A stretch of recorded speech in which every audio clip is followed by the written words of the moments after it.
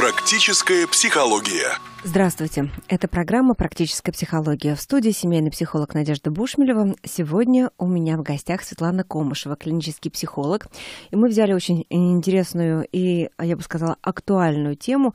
Немного поговорим по про психосоматику и э, конкретно про аллергию, которая бывает и у детей, и у взрослых. Вообще, как психолог может работать с этим диагнозом и как может помогать в решении проблемы выздоровления. Э, Света, здравствуйте. Здравствуйте.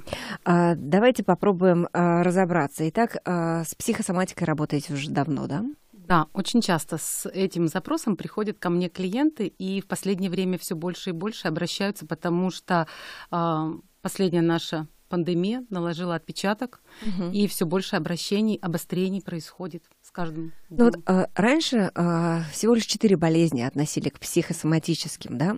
Сейчас практически а, врач, который а, видит, что есть, в общем-то, хорошие, а, хорошие анализы, угу. есть а, все, а, вроде бы картина такая, да, у, у человека, что он а, практически абсолютно здоров, но почему-то какие-то есть проявления, которые а, на клинической картине никак не отражаются, а вот в жизни они, есть.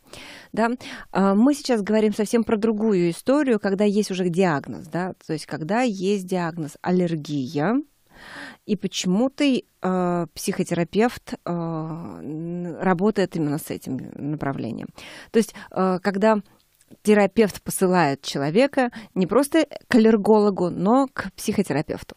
Вообще скажу, что у нас э, практически не отправляют к психологам или психотерапевтам врачи, потому что думают, что аллергия это генетическое либо спонтанно возникшее заболевание, которое не излечивается. И поскольку оно психосоматическое, природа его психосоматическая, то естественно, что э, искать причину в психологических проблемах угу.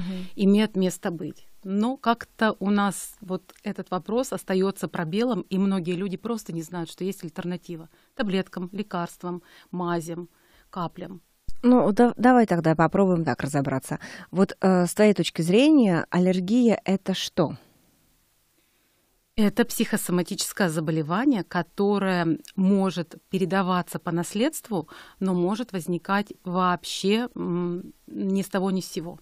Вот судя по картине клиентов, я могу сказать, что многие живут спокойно, и предвестников нет даже в детстве. Вот давай мы тут разделим с тобой такие вещи, да. А, мы понимаем, что аллергия есть аутоиммунное заболевание, да, и э, оно имеет не всегда психосоматический характер. То есть э, есть да, определенные виды аллергических заболеваний, да, проявлений, которые, в общем-то, психолог не сможет вылечить. Скорее всего, да. Но угу. облегчить может однозначно. Угу. Ну, потому что психолог, во-первых, не лечит. Да, да, да, да, да конечно. А, вот, это как бы так, такой очень важный момент. А, вот в, какую, в какой период, на твой взгляд, если у ребенка и у взрослого есть диагноз а, аллергия, в какое время может подключаться именно специалист в области психологии? Ну вот в последнее время я, например, работаю с э, полинозом и с э, аллергией на пыльцу. Угу. И сейчас, когда ко мне приходят клиенты, в том числе и юные, мы с ними прямо вот ряд мер, ряд консультаций проводим, и они сразу же видят улучшение с первой. Угу. Давай будем ближе угу. к микрофону, да, чтобы угу. ты у меня не плавала. Итак, э, э, знакомим с таким заболеванием, как аллергия. Um, Аллергия – это неадекватная реакция организма на какое-либо вещество. Это иммунный сбой. То, что когда-то организм воспринимал как обычное вещество, вдруг начинает воспринимать как яд и угу. начинает отторгать его. Образуется большое количество э, клеток, которые подавляют выработку ну, вот, реагируют на угу. этот аллерген, и происходит такая а, явная реакция в организме. Это насморк, это кашель, это а, заложенность носа. Конъюнктивит, да, слезотечение, но угу. кашель очень часто. Угу. И если не принять никаких мер, то, естественно, может перерасти в нечто более серьезное, угу. вплоть до бронхиальной астмы. Ну да, мы видим, особенно по весне, да, таких а. э, людей, э, для которых каждая весна, цветение там э, каких-то цветов, э, да, или там деревьев, это, конечно, э, реальное испытание. И э, чаще всего такие люди, они на фармакологии, да, Конечно. медикаментозно их сопровождают аллерголог, иммунолог, часто очень психотерапевт, э, точнее терапевт, да, который э, уже знает этих пациентов, э, можно сказать, с детства. Это длится годами. И, конечно, я бы сказала, наверное, лет пять назад аллерголог не посылал к психологу такого и сейчас, к сожалению, сейчас нет, да? Нет такого, чтобы угу. аллерголог отправил. Вот кардиологи сейчас уже угу. к психологу отправляют, да, когда они видят, что нет причин, нет причин а, для того, чтобы например, панические атаки, да, или невролог может а, рекомендовать э, работать с психологом, а по аллергиям, к сожалению, у нас даже а, многие люди и аллергологи не в курсе, что можно попробовать угу. снизить аллергическую реакцию или вообще освободиться от этого заболевания. А вот э, ты так смело об этом говоришь, потому что у тебя у самой есть такой опыт? У меня была аллергия на солнце. Угу. Особенно она обострилась, когда мы поехали отдыхать на море. Там все-таки агрессивное солнце. Я с этим справилась. Угу. У моего ребенка был атопический дерматит или нейродермит, а, аллергическая реакция на коже, и это была реакция на воду. Угу. Вот парадоксально на нашу воду. То есть после купания у ребенка крапивница. И э, никаких предпосылок, ну, кроме как сухости кожи, не было. Ну а что делать? в этой ситуации пришлось просто э, работать и с головой мне тоже. Отлично. Да. Я всегда говорю, хороший специалист тот, который прожил какую-то свою собственную историю, помог себе сам, э, да, теми инструментами, которые у него есть, и теперь он может быть продуктивен для других людей.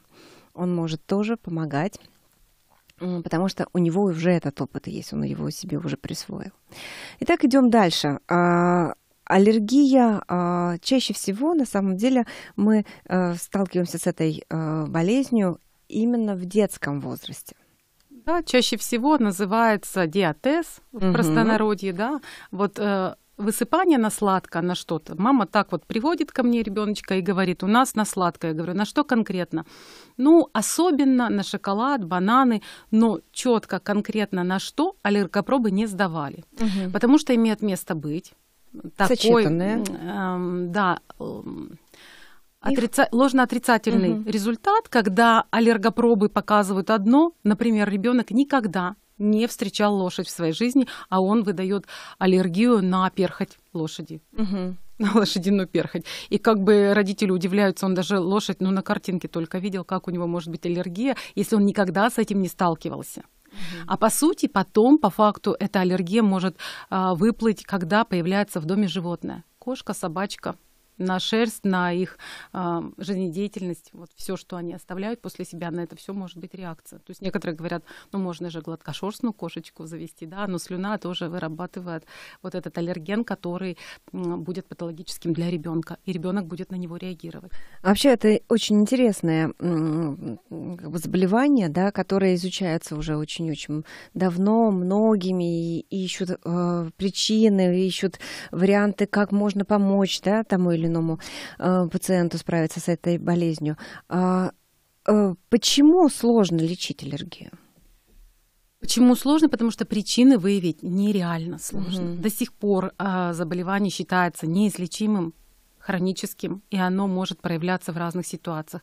И достоверно известно, почему оно считается психосоматическим, потому что стресс усиливает угу. симптоматику, иногда даже провоцирует. То есть э, человек мог не страдать никакими ни аллергиями, ни психосоматикой, но после перенесенных заболеваний инфекционных, после стрессов, после хронического стресса может проявиться то или иное заболевание, и аллергия в том числе. Ну вот интересно, а, например, у меня бывает так, э, я э, немного понервничаю и вдруг начинаю там, например, чесать Чесаться. руку, да, или там ногу, смотрю у меня на этом месте, где у меня там, например, что-то зачесалось, да, появляется такая сыпь, и я понимаю прекрасно, что что это не от того, что я съела апельсин, или не от того, что зацвела черемуха, а вот именно, что это исключительно проявление, да, вот такой как бы реакции того, что я только что, там, например, э, а, испытала там какое-то волнение, да, или там, да, стресс, и я понимаю, что сейчас самое это удивительное, да, приняв не успокоительное, а приняв именно там супрастин, к примеру, uh-huh. да, так, еще раз только напоминаем, что то, что сейчас я говорю, это не э, попытка, не да, не рекомендация, да. да, это я рассказываю, делюсь своим собственным опытом, да, у меня вот именно эта сыпь проходит, то есть, как вы смотрите, какая связь, да, я понервничала, а, но при этом мне поможет снять вот эту самую сыпь uh-huh. не что иное, как супрастин, да, то есть, а, как бы антигистаминные препараты в итоге получается, а, хотя вроде как кажется, ну вы понервничали, примите там капли валерьянки, там, да, и будет вам счастье. Это вот мы сейчас почему рассказываем, да, чтобы понимать, как взаимосвязаны иногда вот это состояние, реакция нашего организма всего лишь на э, какой-то процесс, там, на какое-то возбу... какое-то возбуждение или перепроживание вот именно какой-то стрессовой ситуации. Ну, и эффект плацебо никто не отменил. О, да, да Но конечно. если мы приняли таблетку, мы знаем, что она поможет. Она же раньше помогала. Ну, да, да и она или, или, или наоборот, в голове у тебя есть, если э, какая-то сыпь, значит, надо принять там да, антигистаминный да. препарат. Оно и точно все, помогает. Оно работает. Это еще раз доказывает, что психосоматическая природа этого заболевания, оно работает. И поэтому с клиентами я всегда, мы начинаем искать причину. Страхи, еще что-то. То, что было, негативный опыт какой-то оно может быть напрямую не связано. Почему диагностировать и самим расстаться с этим сложно? Потому что э, человеку самому найти, когда в какой ситуации что случилось, очень сложно. Могу привести пример. Да, конечно. А, была такая ситуация, ко мне пришла клиентка, у нее аллергия на собак. Она собак очень любит. Она в них душе не чает, хочет завести питомца, но у нее жесткая аллергия, вплоть до кашля и удушья на собачью шерсть, вообще на, вот, на воздействие, угу. на взаимодействие с собачкой. И даже на шерсть, которая может быть в доме. Э, и мы, когда с ней начали работать, выяснили такую ситуацию, что у нее была в прошлом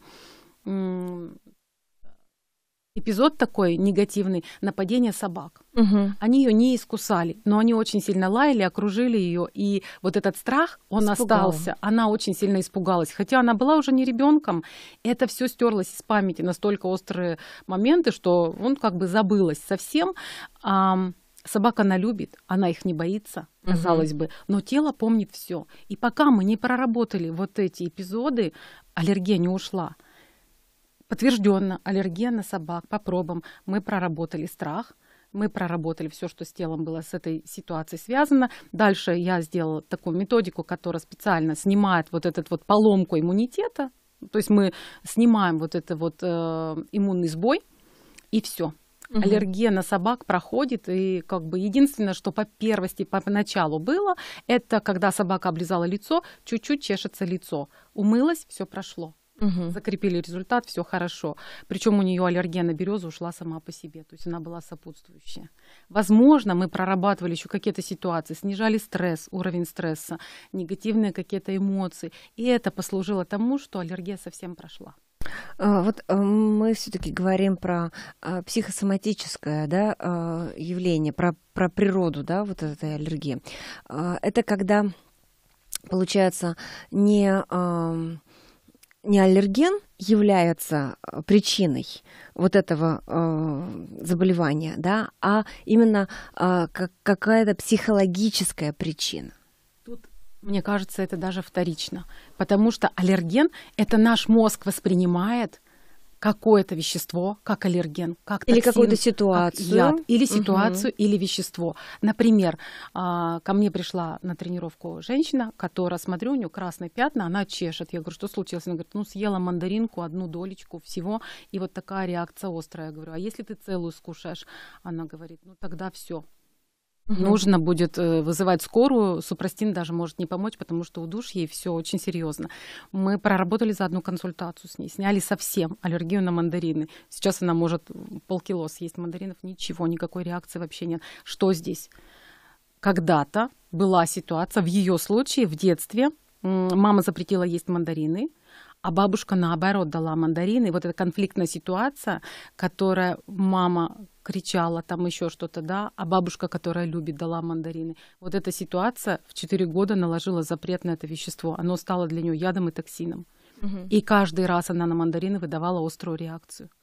Вот слушаешь таки, когда такие истории, думаешь, господи, как можно травмировать э, в детстве ребенка, да, да, психику ребенка и как это все потом может отразиться так или иначе. Но опять-таки мы всегда говорим, да, э, то, что мы сейчас делимся какими-то историями э, в эфире, это, во-первых, с разрешения клиентов, а во-вторых, э, это всегда очень и очень индивидуальная история, чтобы э, вы понимали. И сначала мы идем к традиционной медицине, Конечно. если какие-то проявления есть того или иного заболевания, полностью обследуемся, и потом уже, да, мы чаще всего начинаем работать с психосоматикой, потому что есть, ну, бывают ведь и другие случаи, да, когда люди не доходят до э, официальной медицины, все время лечатся какими-то э, народными средствами, Ладно. там, да, или еще чем-то, а, а в итоге потом запускают, ну, как бы то или иное заболевание. И э, помним о том, что психолог работает и психотерапевт работает в э, комплексе вместе с врачами, по тому или иному направлению, да, которое, например, там есть. То есть вот это для меня ключевой момент. Я всегда в программах это говорю, уточняю, чтобы не было ощущения, вот это, знаете, а, что психология, мы действительно говорим, психология, она везде, но нет волшебных таблеток даже у психологов, да? Да.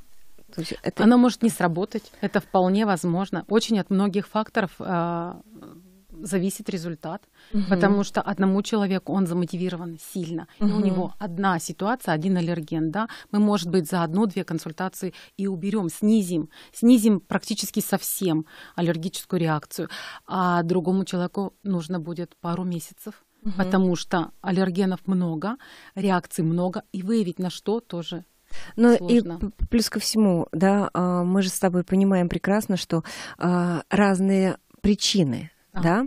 А, где, где-то это действительно психологическая травма в детстве, где-то это испуг, где-то это страх, где-то это а, и психолог может быть бесполезен, да, в этой истории. Хорошо. Какие бывают аллергии? Давай мы сейчас проговорим. Аллергия на животных, Угу. Это часто встречающиеся на питомцев, которых заводят, на корма, которыми их кормят тоже, угу. рыбок, например, да, очень аллерг... аллергичный продукт. А, аллергия пищевая тоже очень часто встречается, особенно у маленьких детей. Угу. Даже на молоко да. материнское, да, да бывает? Да, аллергия? аллергия здесь очень широкий спектр. Угу. Это орехи, яйца, молоко, эм, морепродукты. Очень большой спектр может быть. Эм, сахар, пряности, все что угодно. Вот э, прежде всего, когда у, у человека выявляют эту аллергию, да, э, ну, понятно, что стараются убрать этот, этот аллерген. Да. Ну а потом, вот как раз я сейчас хочу, чтобы мы с вами понимали, да, про работу психолога. Когда он подключается, э, тем не менее, человек не ну, как бы, да, сначала не взаимодействует с этим аллергеном, он также продолжает исключать его из своего рациона, там, да, или из своей жизни, да, и когда мы работаем как ну, с точки зрения психологии со всей этой темой, то э, вот этот процесс эксперимента, а как сейчас я да, реагирую на то или иное явление, на ту или иную там, на тот или иной продукт, это же тоже вот такая зона очень ответственности, да, большой э, психотерапевта, ну и, конечно же, самого клиента. Это зона ответственности, но есть одно но. Угу. После консультации, когда мы проработали, например, аллергию на собаку, я рекомендую или на кошку, угу. я рекомендую в этот же день пообщаться с животным. Угу и закрепить результат, и увидеть, что ничего не происходит. Так произошло с моей юной клиенткой, которая сразу после консультации поехала в гости, гладила кошку 50 угу. минут, угу. ничего, никакой реакции не было совсем. Угу. То есть вот, ну... Это как, знаешь, так, я всегда говорю, вот прям да, чудеса, да? годами. Ты годами там да. страдаешь, страдаешь, да, а тут раз, и э, может помочь, да, какая-то психология. Да. Интересно. Э, давай поговорим. Э, ты еще хотела продолжить, да? Какие да, еще бывают есть аллергии? Аллергия на пыль, на пыльцу, угу. на растения. Вот сейчас как раз сорное растение и пыльца деревьев очень сильный аллерген считается и тоже ограничитель большой. То есть э, таким людям, у которых есть аллерген на пыльцу растений, рекомендуется гулять ну, во влажном воздухе, то есть после дождя. Угу. Да, и аккуратно очень, без антигистаминных препаратов они обычно не выходят, если это серьезно очень. Ну а как вот э, психолог может помочь, когда у тебя реакция, э, аллергия на пыльцу? Ну вот так же точно. То есть угу. мы работали, проработали ситуацию. Правда, здесь у нас ушло две консультации. Девушка у меня э, пошла гулять. Угу. Они приехали на консультацию, не приняв таблетку, как обычно. И она перестала кашлять прямо в процессе угу. консультации. И что с тех пор не быть, принимает. Что может быть здесь про- проблемой, причиной? Я не могу точно сказать. Вот там была ситуация с детства. То есть в детстве часто болел ребенок, лечили от простуд, оказалось это аллергия. Угу. И выяснили ее не сразу. И у ребенка было настолько много ограничений дышать через э, марлю, дышать, ну, окна закрытые, гулять только после дождя. Очень много ограничений по еде. Причем вводили аллерговакцины, который сейчас метод новомодный, современный считается метод лечения, когда вводится вакцина на протяжении какого-то времени, она увеличивается дозировка, это в течение трех лет такое лечение производится. Аллергия на кошку не прошла, аллергия на березу снизилась, но появилась дополнительно другая аллергия. Это опять-таки про то, что как будто бы э, человек сам себе запрещает да, жить, да? да? Да, да, да. Перенес, ну, как бы переносится на что-то другое. Проработали, вот сейчас она дышит спокойно, без таблеток. Осталось только чуть-чуть э, заложенность носа, и то, возможно, это простудное. То есть, как бы э, организм перестраиваться. К сожалению, наш мозг перестраиваться не так быстро. Если мы иммунный сбой этот убрали, то постепенно перестроится организм, и можно будет прогнозировать, что будет все очень хорошо. Чуть ближе к микрофону. И какие еще есть аллергии? аллергия на пыль, пыльцу, на животных, на пищу пищевая, угу. аллергия на лекарственные химические вещества. Это может быть э, даже витамины. Угу. Витамин В, С часто вызывают аллергические реакции. Эм, химические вещества и химические препараты, химические какие-то средства бытовые, бытовые химии. да, бытовая угу. химия тоже может вызывать на укусы насекомых. Да. Очень часто на пчел. Вот у меня у мужа на пчел угу. такая есть и вот, тут, реакция. и вот тут сейчас меня спрашивают, как бы, да, слушатели, неужели вот даже вот, вот на это, это тоже может быть психосоматика? Вполне возможно, угу. да. Например? С укусами насекомых пока у меня угу. клиентов еще не было, но я думаю, что там есть психологическая подоплека такая, которая, ну, во-первых, и может быть отрицательные эмоции, которые человек забыл ну, угу. как мы говорим, замели под ковер, да, ситуацию, угу, все, угу. а она осталась. А в любом случае неприятно, когда кусают насекомые. И вот этот страх Страх насекомых. Страх вообще, насекомых, на самом деле, укусов насекомых да. он может. И с этим тоже, кстати, работают психологи. Ну, я да. на, на минуточку напомню об этом, да. а, да. Специально обученные у нас есть целые программы, да, как мы работаем а, вот со, со всевозможными фобиями. А, хорошо, давай пройдем дальше. В чем особенности детской и взрослой аллергии? Вот ты как клинический психолог это видишь.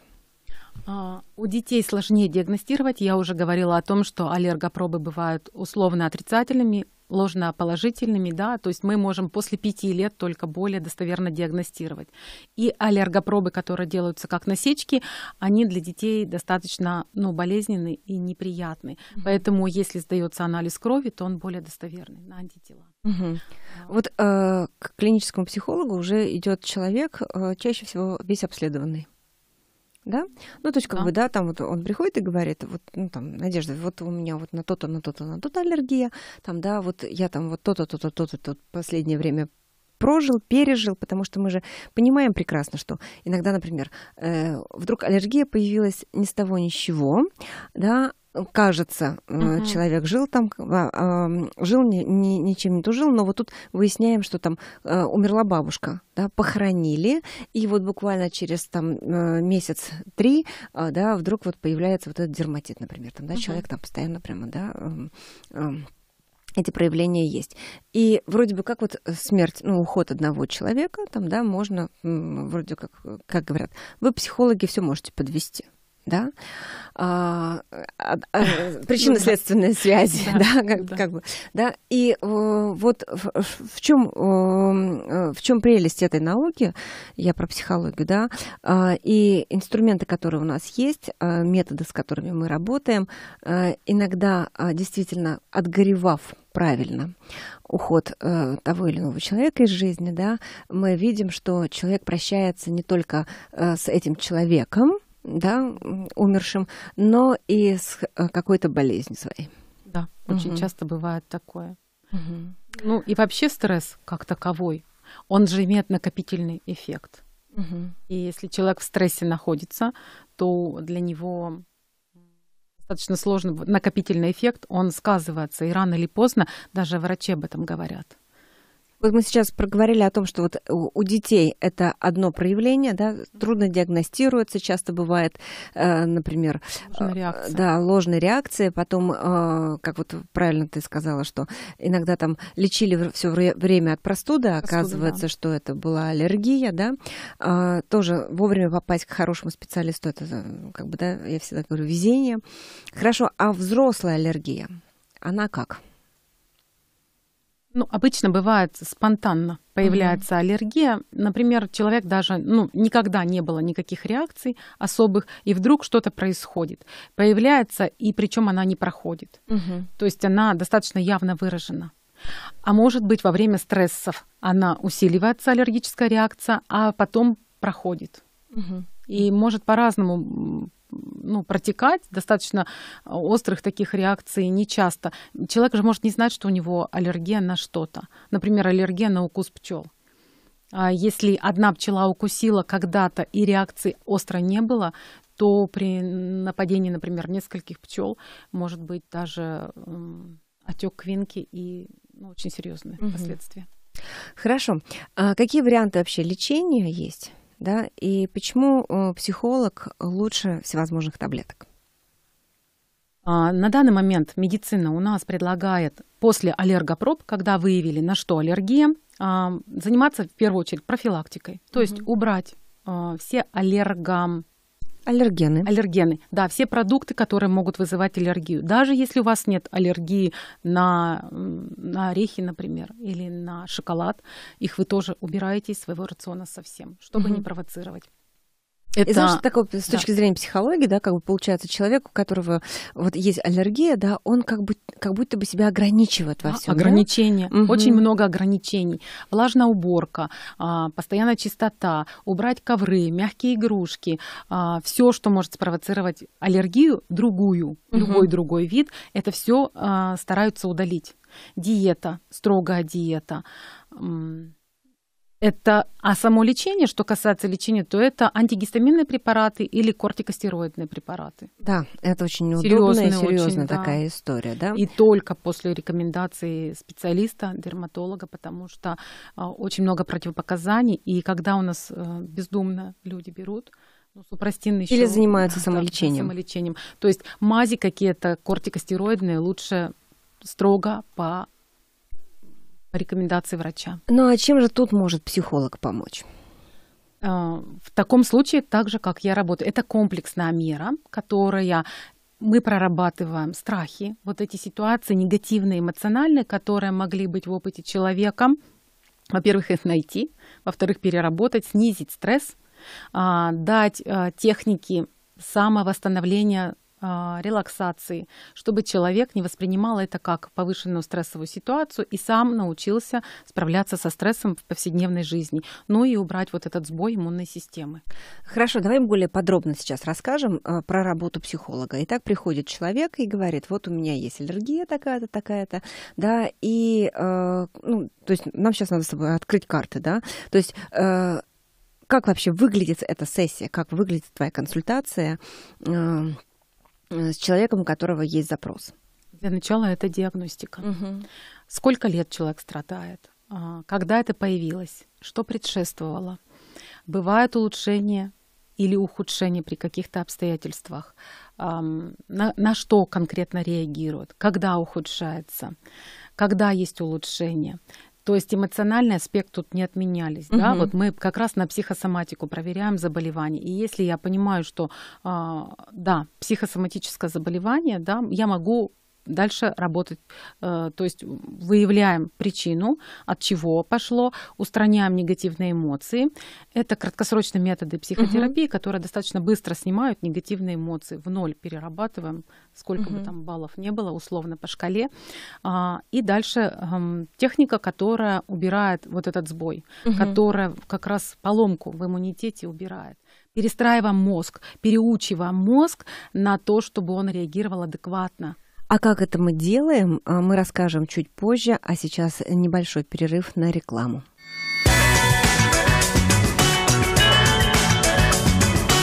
Практическая психология.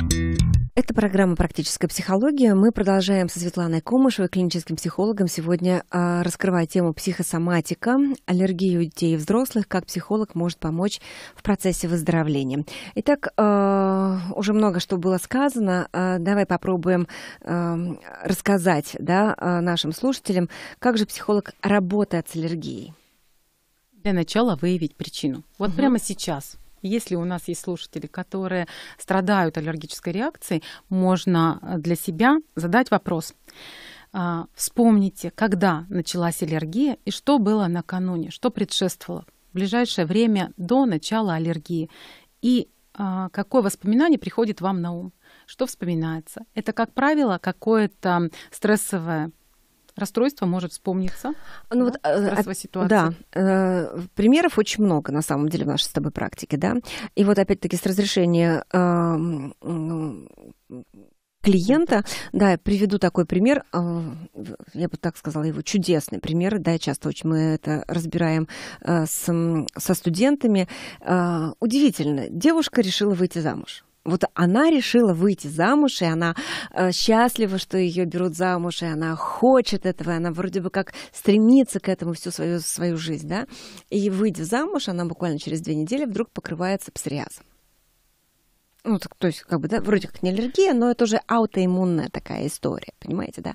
И вот когда она э, разводится, через две недели у нее проявление болезни, которая длилась несколько лет, пока она все была замужем, да, вдруг исчезает. Ну, как бы врачи говорят, ну это же чудеса.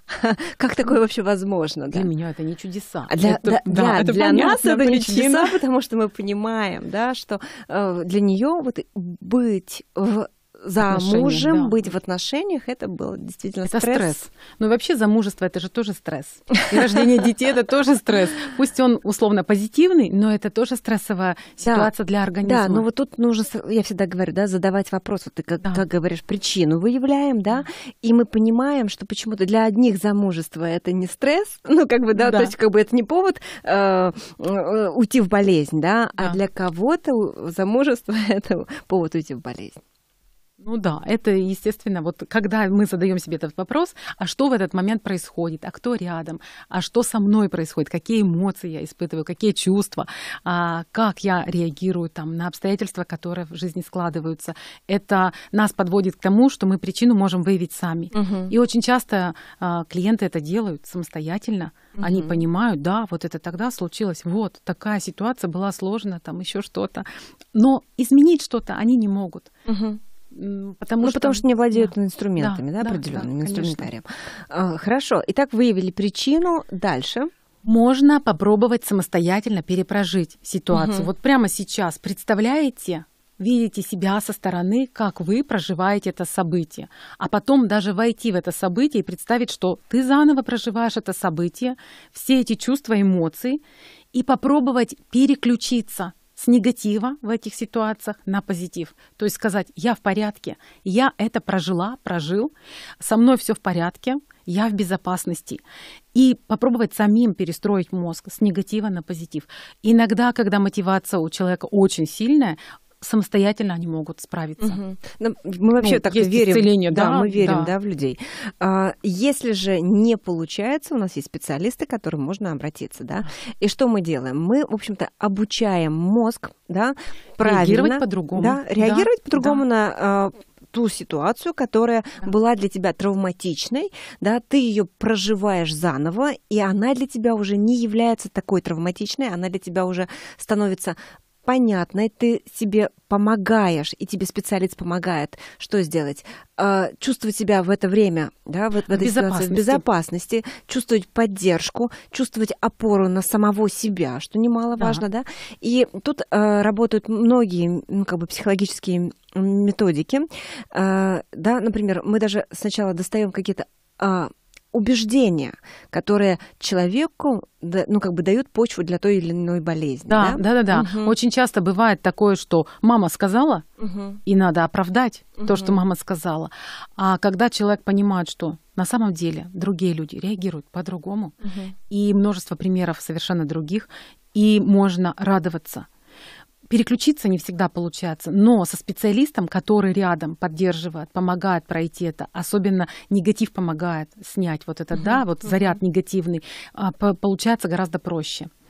И если самостоятельно получилось, то это пр- прекрасно. Uh-huh. То есть мы понимаем, что все, я здесь, я здорова, со мной все хорошо, и я могу реагировать по-другому.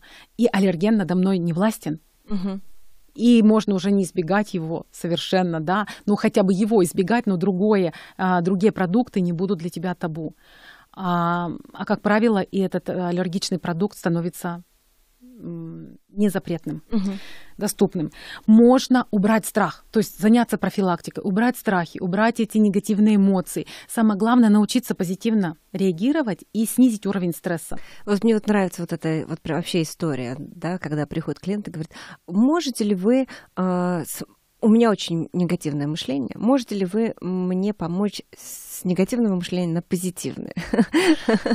Вот это действительно возможно на самом деле, но это очень долгий процесс. Угу. По практике скажу, что на самом деле на это уходит э, больше Мне кажется... времени, чем обычно со страхом проработать. Потому что это же это навык. Да, Его это надо же привычка, да, привычка. это же привычка, чуть-чуть, э, да, да, в, в любом да. случае сразу же раз и в негатив уходить, да. да? Для того, чтобы, например, когда мы проработали, для того, чтобы закрепить результат, всегда даю домашние задания, которые помогают переключаться на позитивные мысли. Обучаю, как переключаться с негатива на позитив самостоятельно, чтобы человек потом без моей помощи мог это делать самостоятельно, легко, просто, в других ситуациях, в стрессовых.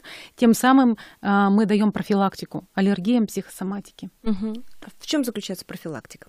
реагировать позитивно, снизить стресс, справляться с негативными эмоциями, принимать решения.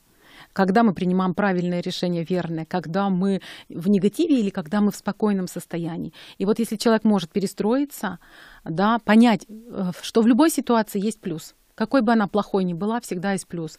Вот эта перестройка, она позволяет нам более эм, рационально поступать, более позитивно жить. Вот смотри, э, такая фраза, да, а, снизить уровень стресса.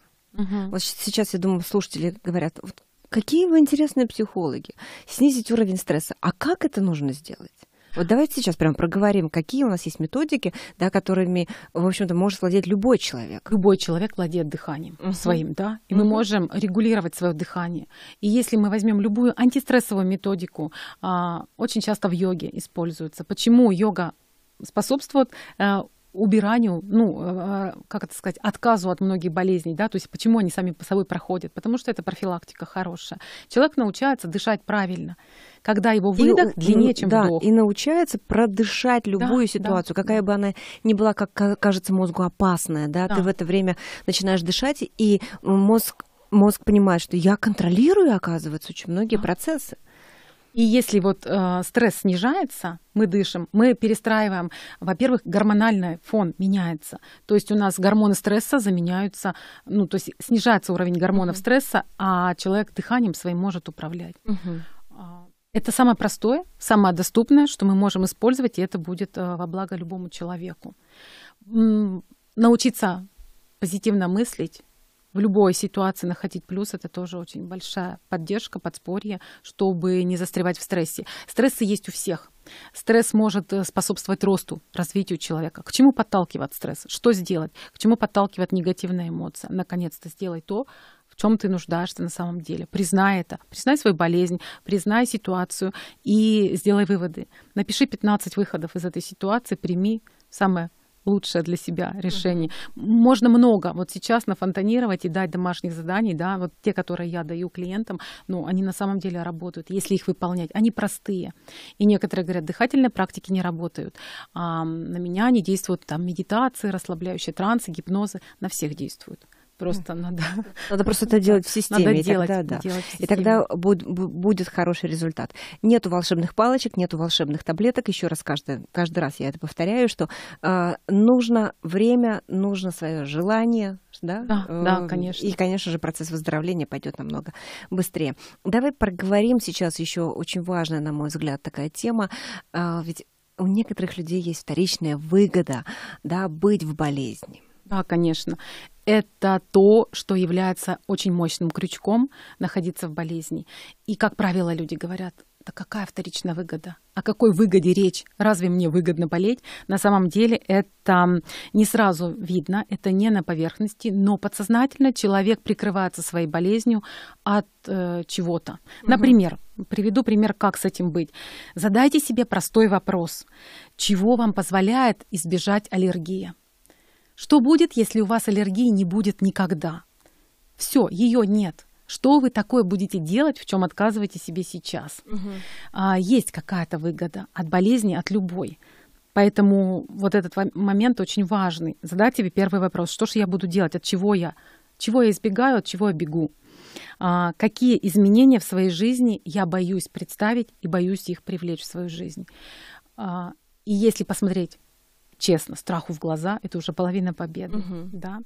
Что будет, если я выражу свой протест против человека, против ситуации открыто, языком, да, словами, а не эм, болезнью, не сыпью, не насморком и так далее. Что будет, если я словами скажу о том, что меня не устраивает, а не как это обычно бывает, когда человек болеет. Мне всегда очень нравится фраза, да, выражайтесь ртом. Да. да, очень многие вещи можно проговорить. И э, проговаривая свои чувства, свои переживания, свои мысли, э, все это вы не оставляете в своем дорогом храме, в теле да, и да. уже нет у тела повода для того, чтобы вам выдать ту или иную. Ему не нужно защищаться, угу. ему не нужно придумывать вам защиту, щит, который будет, вот аллергия, психосоматика, не будет щитом, она уже не нужна, вы уже справляетесь с этим сами, вы живете полноценной жизнью, э, в том числе и свои границы отстаиваете. Что будет, если вы скажете прямо о том, что вы хотите? Чего вы не хотите, что нравится, что не нравится. И если вам кто-то неприятен, и реакция есть на определенных людей, говорят, у меня на мужа, на жену аллергия, да, бывает такое. Что, что есть такого в человеке, что вы не принимаете, из-за чего вы готовы разодрать себе в, кровь, в кровь руки, да, чтобы не контактировать с этим человеком, чтобы избегать контакта с ним о чем вы молчите и не говорите этому человеку? Эти вопросы я тоже задаю. Обязательно. Обязательно задаем эти вопросы, обязательно честно на них отвечаем да. и наблюдаем, как э, разворачивается процесс выздоровления э, того или иного человека, э, разговаривая возвращаясь в свое собственное тело, да, да. человек, э, выражая свои эмоции и мысли, человек становится в контакте с самим собой. И уже очень многие вещи, которые казались непобедимыми, казались сложными, казались э, неизлечимыми, становятся совсем совсем простыми, другое восприятие да, совсем другое восприятие. Да? И еще есть момент, когда родственникам может быть невыгодно выздоровление тоже. Угу. Тоже вторичная выгода. Да, вторичная выгода может быть у родственников. Они не хотят. Да, у нас есть даже такое явление, да, э, в психологии, да, в учебниках прямо написано, да, это инв... психологическая инвалидизация, там, да, например, близких тебе людей. То есть, да. представляете, как это жестко, жестко звучит жестко. на самом деле, да. Но действительно есть родители, например, которые, которым очень удобно и выгодно, что их ребенок болеет потому что там столько, оказывается, вторичных выгод, да, ощущение ценности, а значимости взгляд, и всего остального. Ни, ни одна мама не скажет, я хочу, чтобы мой ребенок болел. Конечно. Вот такие серьезные темы мы сегодня э, поднимаем вместе со Светланой Конышевой. Э, Комышевой, э, клиническим психологом. Ну и в завершение нашей программы, что можно почитать, что можно, что бы ты рекомендовала прямо на эту тему? А, литературы на самом деле достаточно мало. И из всего, что я нашла и чем смогла воспользоваться сама, это, например, если вам нужно мнение специалиста, как жить с аллергиком, как облегчить жизнь аллергику, лучше приобрести книгу «Аллергия и как снижить руководство для всей семьи». Угу. Это врач-аллерголог, которая собрала все рекомендации, как избежать тяжелых аллергических реакций, например, отека квинки, а, анафилаксии, что делать, если это случится. Это такая скорая помощь при аллергии. Что угу. с этим делать? Все о профилактике, о том, как быть, в какой ситуации можно найти в этой книге. С точки зрения медицины, аллергия рассматривается полностью подробно в этой книге. С точки зрения медицины, а с точки зрения психологии? А с точки зрения психологии вот еще есть одна замечательная книга автор э, Филиаев Михаил Анатольевич, Боева Лана, называется «Психосоматика аллергии, лекарства или новое мышление». Угу. Там подробно расписано, рассказано о том, что это психосоматическое заболевание, как с ним быть. Даются простые практики, которые помогут снизить а, реакцию на какой-либо аллерген.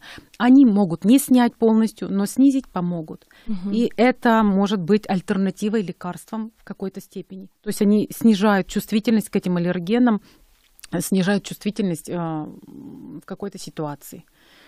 Спасибо большое. Это была программа «Практическая психология». Мы желаем всем крепкого здоровья и будьте счастливы. Будьте здоровы.